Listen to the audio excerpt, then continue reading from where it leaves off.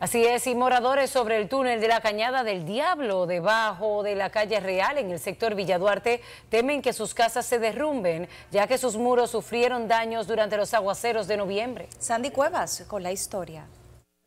El deterioro de la cañada se ha convertido en una amenaza para cientos de familias que habitan sus alrededores. Y la gente inválido, ahí hay una señora inválida que tuvieron que los, muchachos, los que están en, en el juqueo y la cosa, y ese señor fue que nos ayudaron. A recordar que sus casas quedaron anegadas por las lluvias del 18 de noviembre y perdieron todos sus ajuares, otros comunitarios consideran que las autoridades deben buscar la forma de desalojarlos del lugar.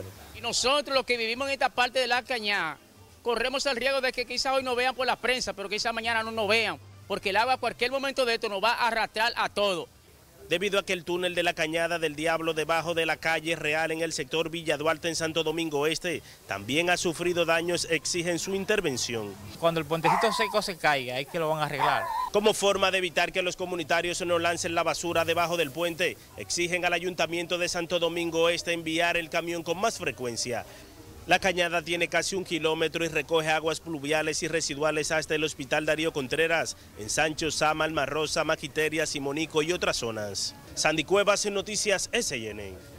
Con neumáticos encendidos, residentes en Rancho Arriba, en San José de Ocoa, bloquearon el tránsito por una carretera en demanda de la construcción de sus caminos vecinales. Indicaron que desde que llueve un río crece y se quedan totalmente incomunicados. En este momento nosotros, como estudiantes, nos encontramos incomunicados y no podemos recibir nuestra, educación por motivos del pueblo. Ahora mismo mira cómo tenemos el río. Entonces, queremos a ver si nos hacen algo aquí.